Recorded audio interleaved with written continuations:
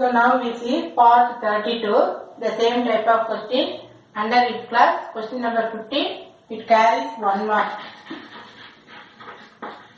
It's very very easy topic, already we have seen uh, up to question part 31. Now see the first part, if he had more money, will help, would help, would have been, uh, sorry, would have helped. Now we see the verb form had just had. This is simple past. If he had more money, this is simple past. Simple past means you are choosing would. So in the would further this one. So would help. So this is the correct answer. The next one, if I were a bird. Here the verb is were. This is simple past. This is past tense.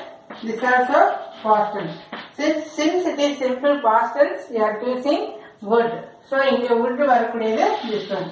So we, he would cross the ocean. Then if you waste time now, here the verb is waste. You are giving the importance for the verb. So whether it is present tense or past tense. Here if you waste, this is simple present tense. Here it is in present form. So you are choosing will. If it is in present tense, you are choosing will. If it is in past tense, you are choosing would. So present tense, so, so you are choosing will.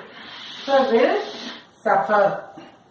Then if you study well, study, study. Here also this is simple present tense.